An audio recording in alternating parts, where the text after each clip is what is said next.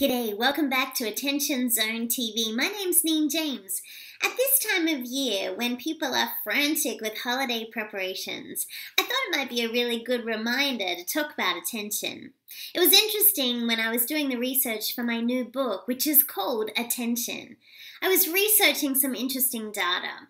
The Information Overload Research Group, there's actually a group called that, published a figure that said that Currently, interruptions are costing us $588 billion a year in the US.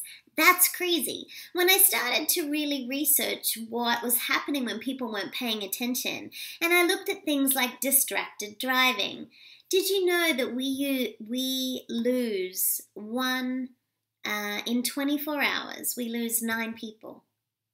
Nine lives are lost because of distracted driving every day.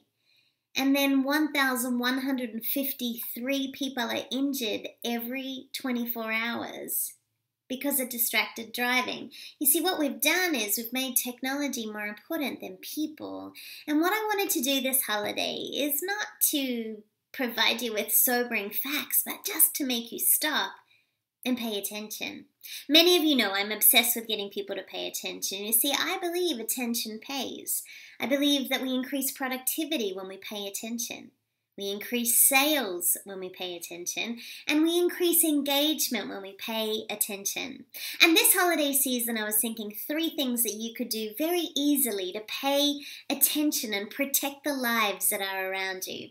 The first thing that I would suggest is turn off these devices. And if you can't possibly turn it off in the holidays, maybe just turn it to silence, or if you're in a meeting, turn it over.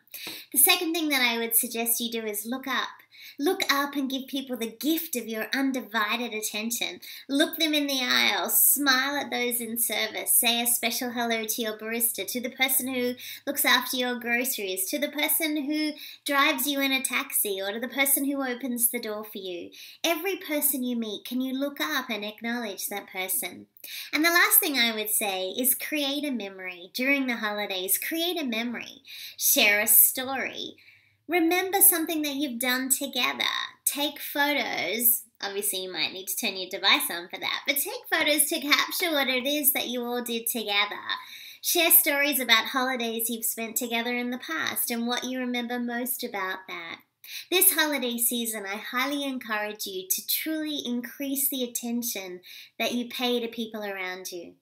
Turn off or silence your devices. Look up and create a memory. This holiday season, can I encourage you to really pay attention so that we have the benefit of all those wonderful people in our lives for a long, long time?